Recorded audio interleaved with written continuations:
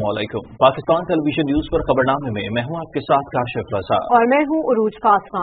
सिंध के बेशतर देही इलाकों में तालीमी इदारों में रिवायती तरीका तदरीस से तलबों को तालीम के मैदान में खातिर का नतज हासिल नहीं हो रहे। हाल ही में एक स्कूल टीचर ने सरकारी स्कूल के बच्चों को जदीद तरीकों से पढ़ाना शुरू किया है जिसके मस्बत नतज बरामद हो रहे हैं। स्कूल टीचर सोशल मीडिया पर भी खासे मकबूल हैं।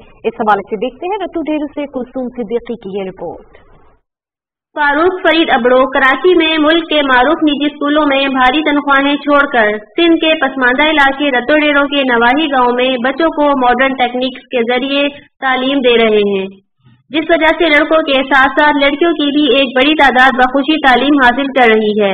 फारूक फरीद अबड़ो एजुकेशन में मास्टर्स के बाद अपने निजी स्कूलों के तजर्बात की रोशनी में बच्चों को खेल ही खेल में इंतहाई दिलचस्पी से तालीम दे रहे हैं। इस्लाम जो नबी हज़रत आदम अलैहिस्सलाम इस्लाम जो आख़िरी नबी केरु आहे हज़रत गादी जो कहिड़ो आहे असां कहिड़े सूबे में रहंदा आहियूं सिंध हमारी पढ़ाई बहुत अच्छी जा रही है। सब सब्जेक्ट पढ़ाता है साइंस हिंदी इंग्लिश मैथ साथ में गेमिंग भी कराते मैं अपने शहर से दूर से मतलब जाति का मतलब गाँव में आता हूँ ताकि मैं क्वालिटी एजुकेशन हम प्रोवाइड कर सकूँ क्योंकि दे रहा हूँ। क्योंकि मुझे इन, बच्चों का फ़िक्र है। ये सिर्फ़ अमीरों के बच्चों का हक नहीं है तालीम ये गरीबों के बच्चों का भी हक है। इनका ये अंदाज सोशल मीडिया पर भी खासा सराहा जा रहा है। सरकारी स्कूलों में इस किस्म की तालीम की फरामी काबिल तकलीफ़ काम और लायक तहसीन इकदाम है। Kusum Siddiqui Pakistan television news.